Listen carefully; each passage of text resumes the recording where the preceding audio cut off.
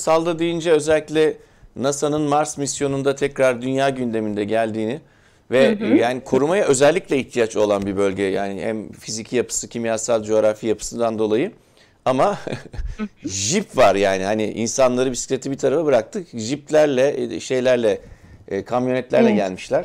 Evet. Şimdi şöyle e, tabii e, Salda aslında korunan bir alan. Ve biliyorsunuz artık 2019 yılında da özel çevre koruma bölgesi olarak ilan edildi.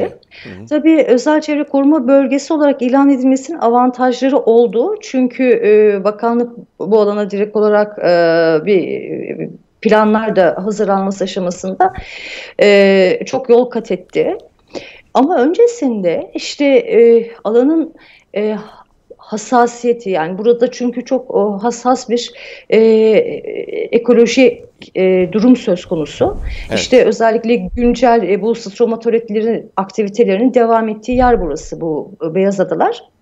Ve bu aktivitelerin devam edebilmesi için de işte bir takım kimyasal, biyolojik, fiziksel ve iklimsel koşulları bir arada denge içerisinde olması gerekiyor. Ancak e, yapılacak bu tip e, agresif faaliyetler e, alanın bu dengesini e, bozuyor ve e, gerçekten kararmalar ortaya çıktı alanda.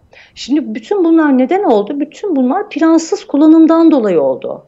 Plansız kullanımdan. Çünkü herhangi bir e, işte ziyaretçi yönetim planı yokken bu alanda hangi faaliyetler yürütülebilir e, sorusu cevaplanmamışken alan bir anda tanıtılmaya başlandı.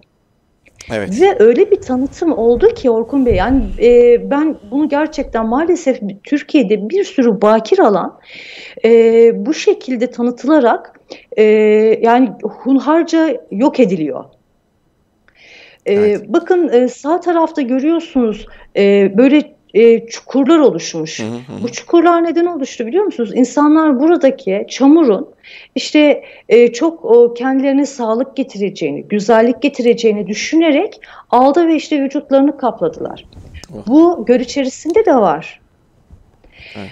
E, ve hani derler ya insan insanın kuyusunu kazar mı? Ben burada gördüm evet kazıyorlar.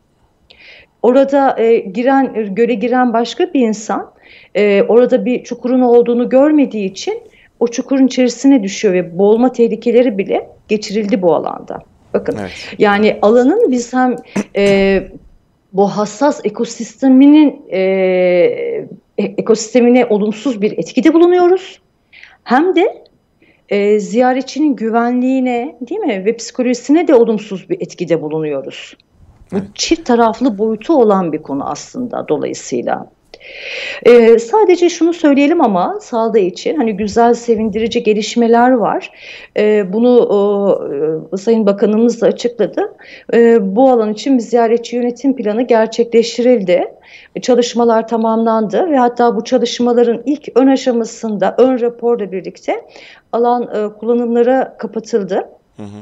E, ve umuyorum ki e, bu çalışmaların akabinde e, çok daha iyi, çok daha kontrollü bir şekilde korunacak e, alan.